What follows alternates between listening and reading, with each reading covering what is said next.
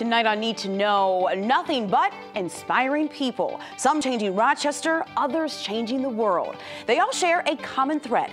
Out of tragedy and hardship, one can find beauty and make a difference in the lives of others. Don't go anywhere. Need to Know starts right now.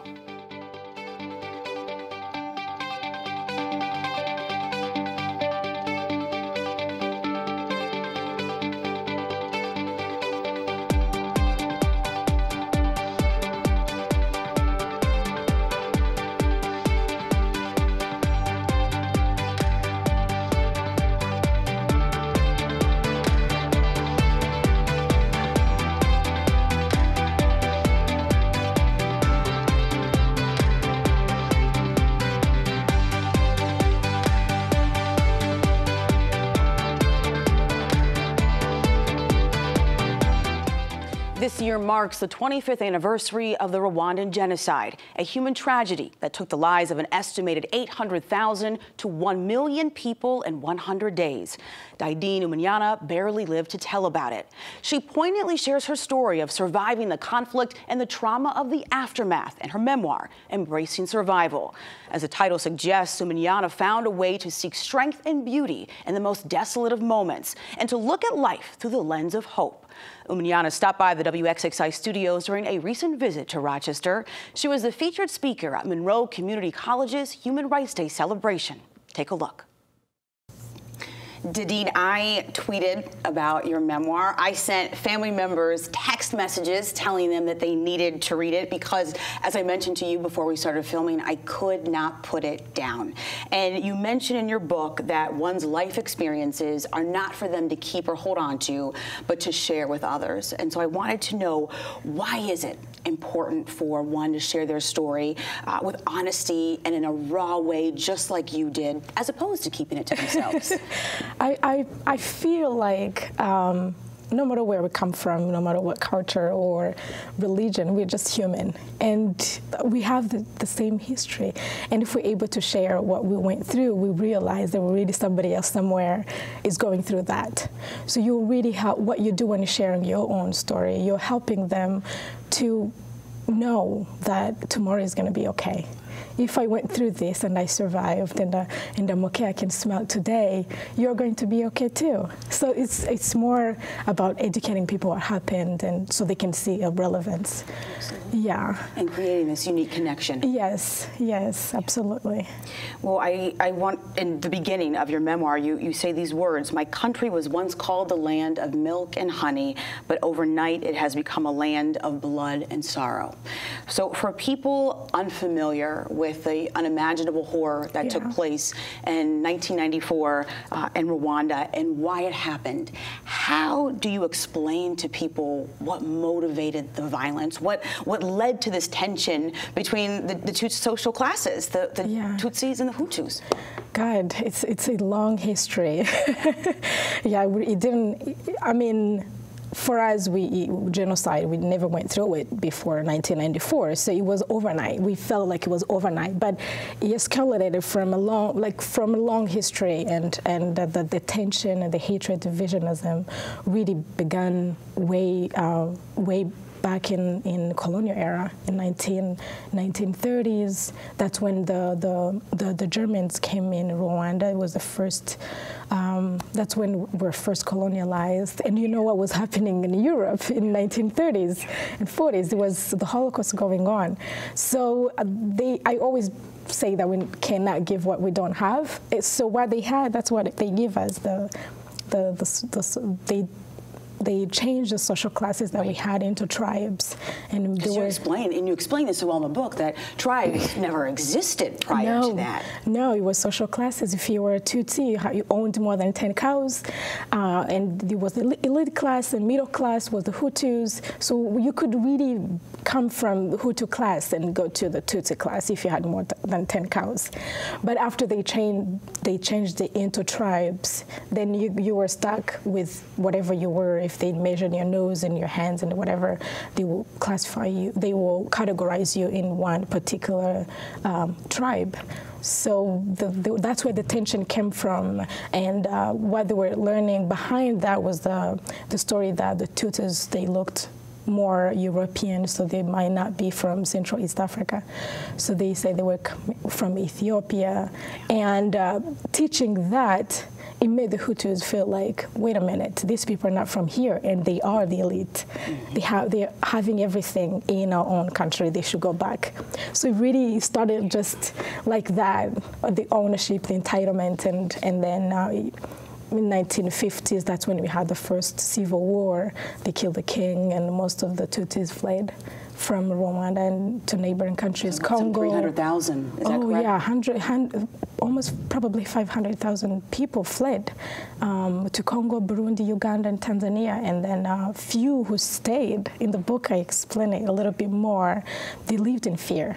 Yeah. yeah, they were they were not they at school they were they were treated really horribly. It was yeah, it was just and some people actually changed their ID cards wow. so that they would not be, if they looked a little bit more Hutu, they would change their ID cards. Then they would become Hutus.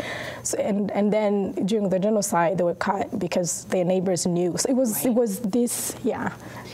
You were you were almost four years old when the Rwandan genocide began, and you were a member of, of the minority Tutsi community yes. uh, being slaughtered by Hutu extremists. And you share this memory of standing in a line, waiting to die, without totally understanding at such a young age that concept of death. But suddenly, your life was spared by an old Hutu man who came out and, and said uh, to the extremists, "Do not take her life because of your age, because you are so young."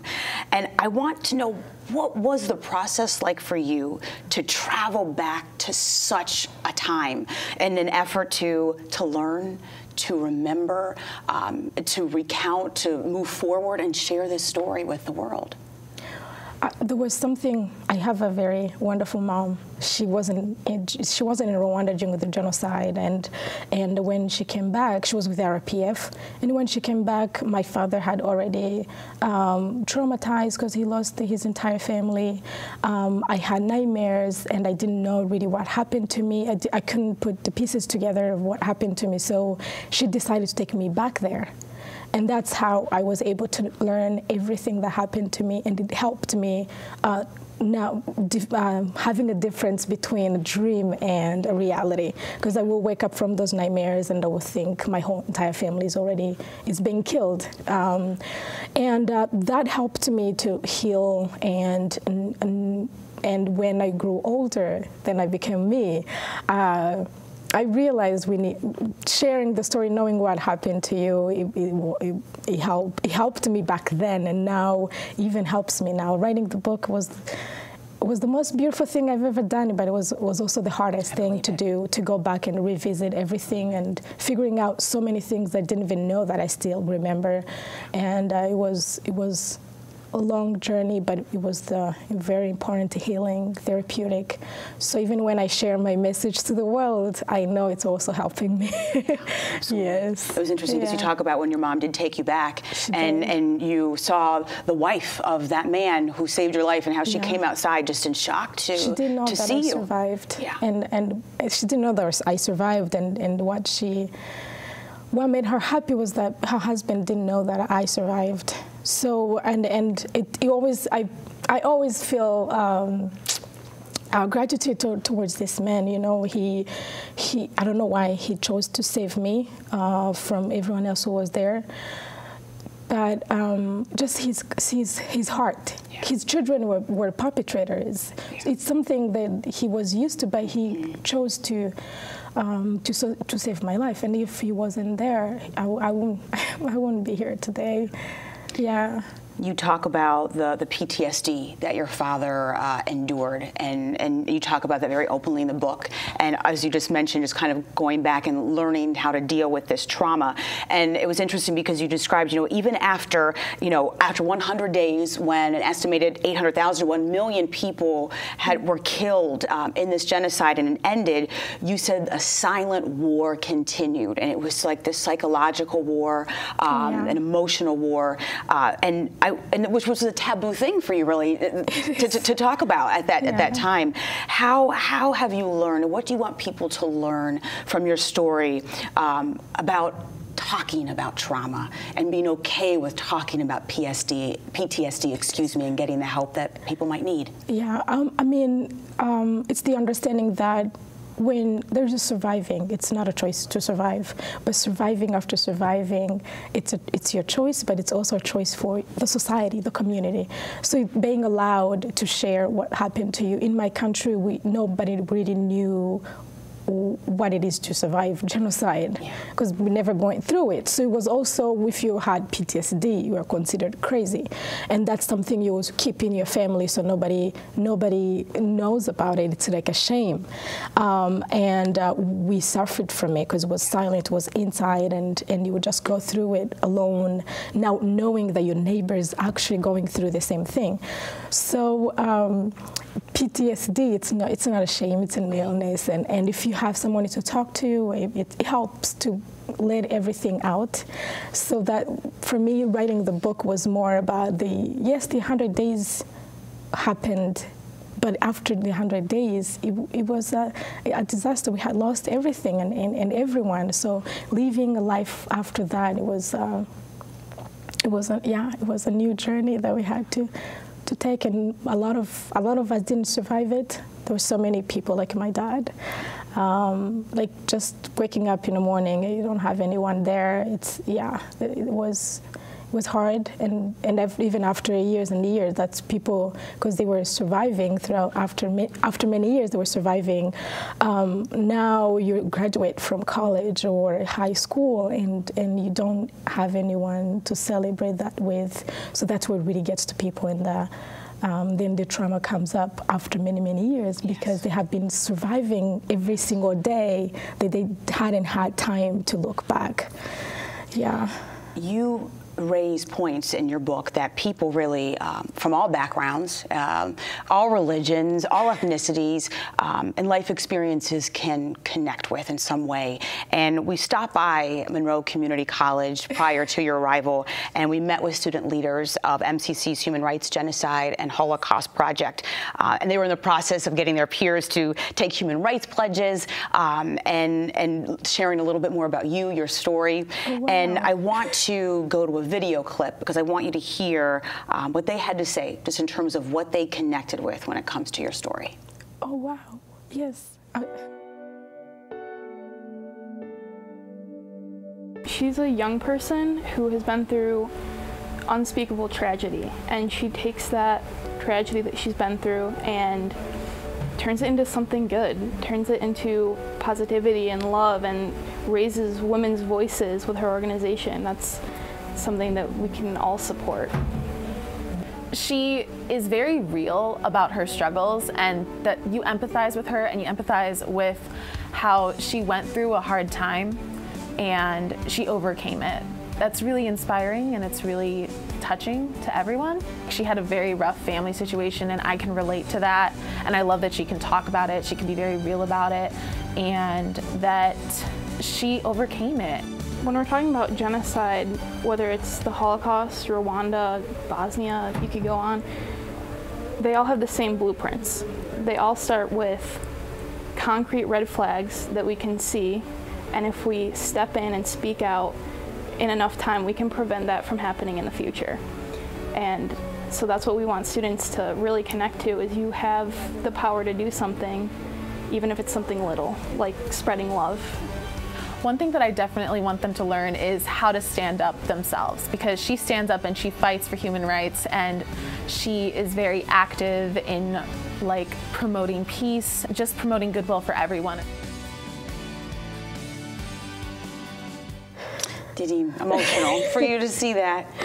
Yeah. How does it feel? You, you, when you know that your story, I know what you set out to do. I think you're accomplishing those things, and and you're getting you. people to to share their own stories as well, um, and and to connect with our world in a, in a really special way.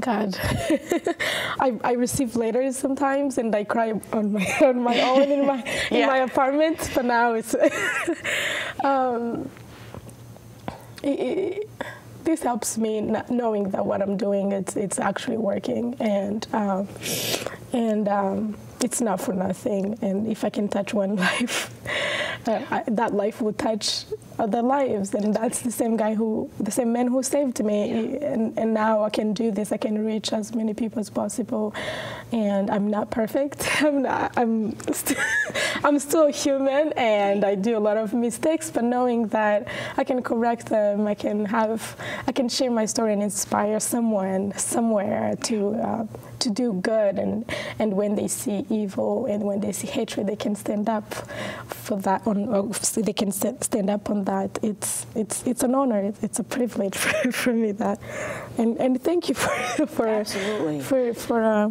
yeah for doing this there's so much that we can all learn uh, from your story.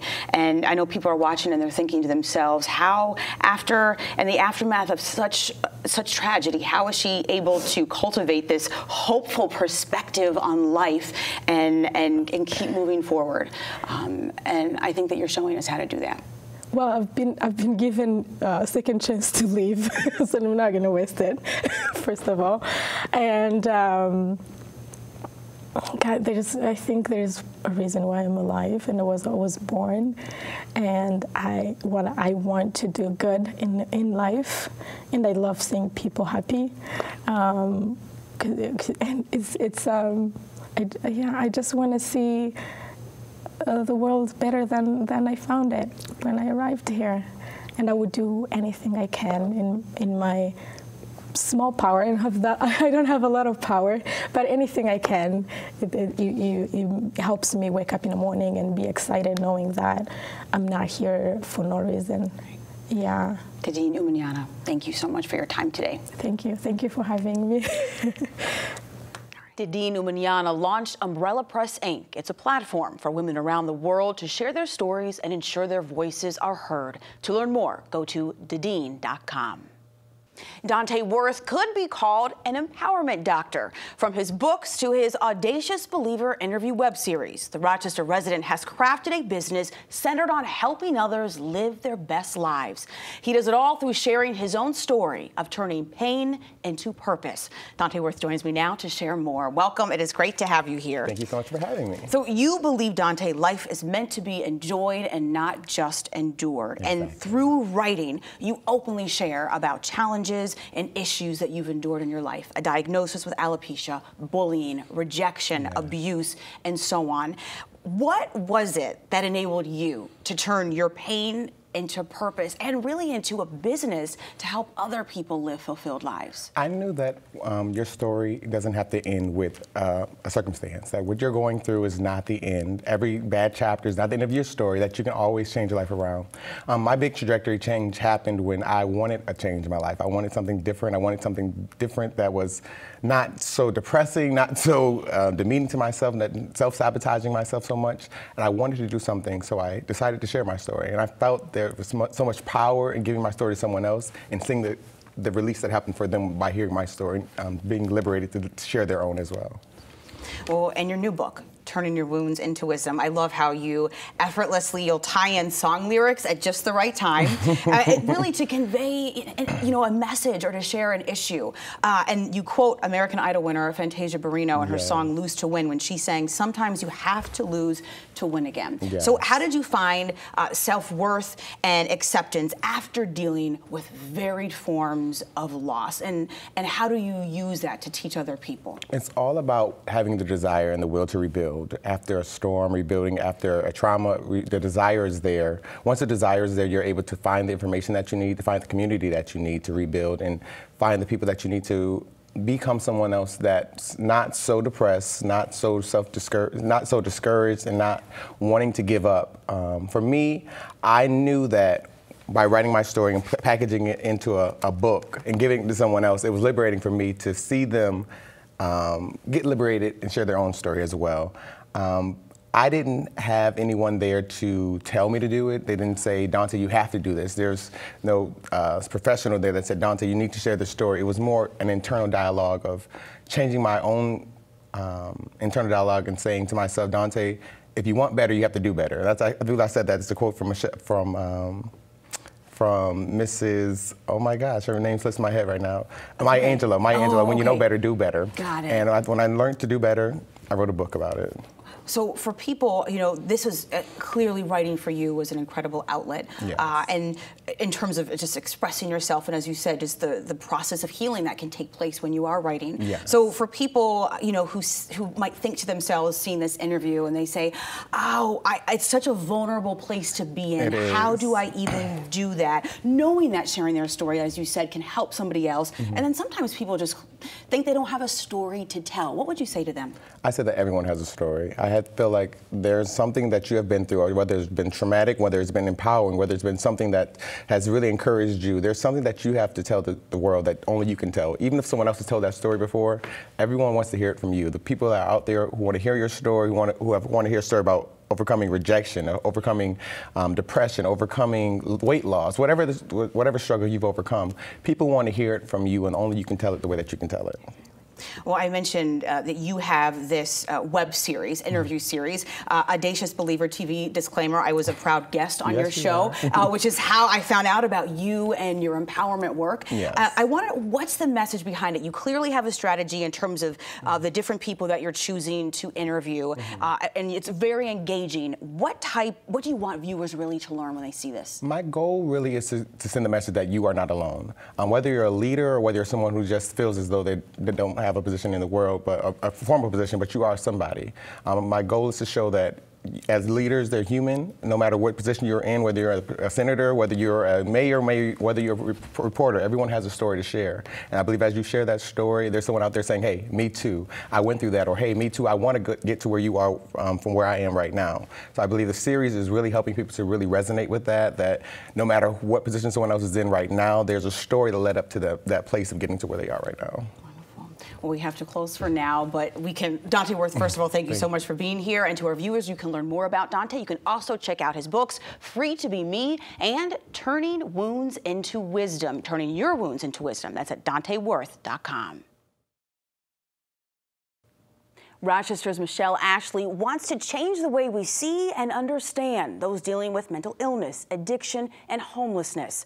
The photographer uses her camera to document social issues with the hope of bringing social acceptance to people she says are often ignored and judged by society. The self described activist with the camera joins me now to share more. And Michelle, welcome. Thank you for being here. Thank you. So, you are a longtime hairstylist uh, and an owner of a hair salon in Brockport. And so, how does an entrepreneur in the beauty field decide to pick up a camera and shoot these raw, gritty images of individuals, oftentimes in less than beautiful conditions? How did it happen? So I guess it started, I was a single mom, my kids' whole lives. I have two children. And once they grew up and moved out of the house, I sort of felt like I lost purpose. And I'm not the type of person to sit on the couch. I knew that I had to do something. I felt like there was more for me. And it just took off from there. I started volunteering at different shelters, just trying to find where my heart really ached when I went places. And it tended to be with the homeless, mentally ill, childhood poverty, that type of situation. There's a cool story that you've told me in the past about your father, how you didn't think you had this artistic gift. And then a, Right. your father saw some of your photographs from years ago and said to you, You've got it. Right. Yeah, so my dad came to stay with me. I hadn't seen him in 20 years. And he stayed with me for 10 days. And he, I grew up knowing he was this incredible artist, and I was always jealous. And I couldn't understand. I looked like him, but I had zero talent like mm-hmm. my father. And when he stayed with me, he painted and sketched and was drawing the whole time. And, you know, I'd said to him, I, I wish I had that talent. And he said, You're a hairdresser, you do. And I was like, but people wash their hair and it's gone. Like you paint something and it's there forever. So the day he was leaving, he was walking around my house and I had pictures hanging up that I had taken in Haiti. And he said, Who did these? And I was like, I did. And he was like, You do have it. You do. And I literally was like, Wow. And he was like, Now what are you going to do about it? And that's where it started. That's how it all started. We uh, featured artist Richmond Futch Jr. and, and, an mm-hmm. exhibit that he did on, uh, and he told me he used your photographs for this exhibit called Out of the Shadows, and it was all about giving our homeless population a voice and to make sure that they were seen. And I want to know, when you get behind the lens, what are you looking for, and what is it that enables you to get these shots that people connect with? There's something that you're able to capture in the eyes of a human being, and people can just connect with them. And do you do you even know how you do it? I mean, it's incredible. I don't. It's a good question because I really don't. Sometimes the people, I feel like people know who I am now and they actually ask me to take their photo, but I, I feel it. I don't see it. So I feel people and I really, um, I just will walk by someone and something will turn me around and, and we start a conversation. And but most of the time, to be quite honest, people know who I am now and they want their story to be told or they want their photo to be taken. They ask me to send their photo to family members. I've had people pull me aside literally and tell me their whole story and give me an address. Can you send this picture to my mom so that my mom knows I'm still here? And it really is, it's it's really hard for me to pinpoint and explain because it just happens. It really just happens for me. You said people know you and ask you to take their photos. What did it take for you to build that trust? Because uh, it's uh, it's you're you're photographing some people in very vulnerable situations um, and situations where they may not want a photograph taken, but you've been able to make that connection. What what is it that you've been able to do that enables that really enables you to get those images and show this part of our society um, that you have said sometimes people ignore? I think that um, because I'm willing to meet them exactly where they are today, um, generally I never start my conversation like we would, you and I would have on the street, like, where do you work? What do you do?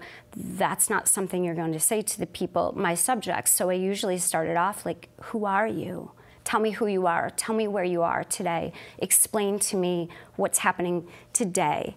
And so many times people are willing to bring it right back to the beginning so that I will understand what happened, how they ended up where they are, but they know that I'm not there to exploit them. That they, they also, I'm willing to share my story. You know, I have a background with this as well. So once they hear my story, they know that I'm not there for any other reason than to tell somebody's story. And what part of your story do they connect with? So I had a brother who was mentally ill. Um, he was a veteran. He was in the Air Force, and he, when he was about 20 years old, his schizophrenia started to really rear its ugly head, and he was discharged and was missing for about 27 years.